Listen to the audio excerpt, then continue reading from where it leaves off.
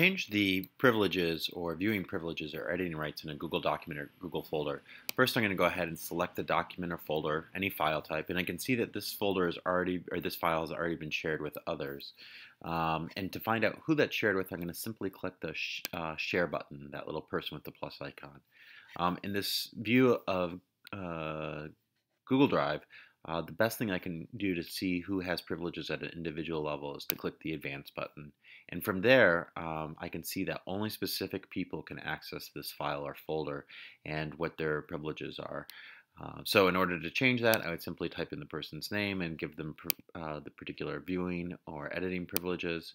Um, and when uh, that person should no longer have access to it, just simply uh, click the X buttons. That's how you can change the uh, sharing privileges in Google Drive uh, on a doc or any file type.